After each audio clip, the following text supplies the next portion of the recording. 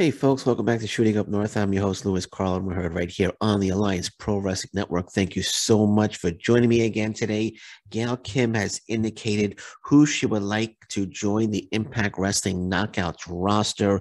Uh, she was recently on Renee Paquette's Oral Sessions podcast. And when she was initially asked who she would like to see join the Impact Wrestling Knockouts roster from the free agent pool that's uh, now available, she initially indicated all of them. But uh, unfortunately, even though she's part of the management team right now, I don't think she could pull. I don't even think she could pull that off.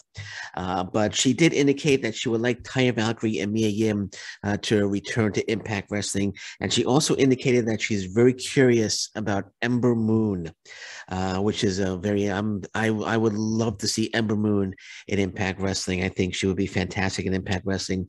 Uh, she also uh, mentioned uh, Maria Kanellis um, Ring of Honor says Ring of Honor has so many girls. Uh, she loves Maria Kanellis, uh, just a leader in terms of the women's wrestling world. Uh, so um, Ember Moon, Taya Valkyrie, Maria Kanellis, and Mia Yim uh, is uh, are the names that uh, she had mentioned, and uh, again, her being part of the management team uh, at Impact Wrestling, I think she could she could do her best to make it happen. Uh, I would love Ty Valkyrie to come back. I think everybody wants Ty Valkyrie to come back to Impact Wrestling. Uh, I think Mia Yim would be uh, fantastic uh, back in Impact Wrestling. Uh, she was already in Impact Wrestling uh, previously, and I would love to see Ember Moon debuting for Impact Wrestling as well. So lots of um, a number of big names that Gail Kim has thrown out there that she would like to see on the Impact Wrestling Knockouts roster.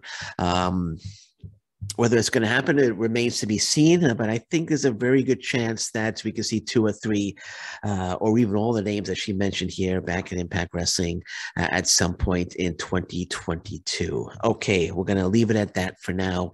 Um, again, I'm watching for breaking news. Uh, anything breaks, uh, I'll be back. And until then, thank you very much. Take care. Bye bye. And stay safe, everyone. So long. Bye bye.